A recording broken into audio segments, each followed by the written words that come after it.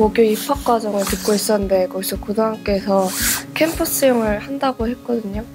거기에 관심 있는 게 있어가지고 거기에 참여하게 된 거예요. 별로 그 시간이 뺏긴다는 느낌은 없는 것 같아요. 제 진로랑 좀 꿈에 투자를 한다고 생각하면 좋을 것 같아요.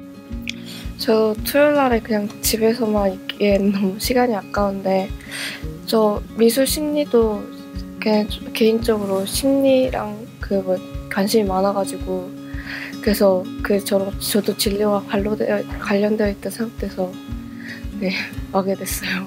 이렇게. 저는 음, 확실히 그 전문 교수님께서 가르쳐 주신다고 하니까 신뢰가 되기도 하고 그리고 정보 어떤 그 배우는 분야에 대해서 세세하게 들어가고 평, 이렇게 일반적으로는 이렇게 접할 수 없는 부- 거기까지 잘 말씀해 주시니까 되게 도움되고 좋은 것 같아요. 배우고 싶은 거 배울 수 있고 좋은 그런 좀 지식이나 그런 걸 얻어갈 수 있으니까 참여하면 좋을 것 같아요.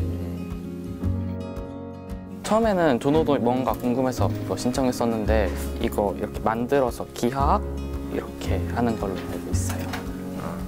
그냥 진짜 말 그대로 뿌듯하고 이게 하나하나 만들어지는 게 성취감이 느껴지는 것 같아요. 어, 이거 되게 재밌고 토요일에 나와서 어차피 할 거 없이 집에서 뒹굴뒹굴거리는데 꼭 한번 참여해서 재밌게 했으면 좋겠어요.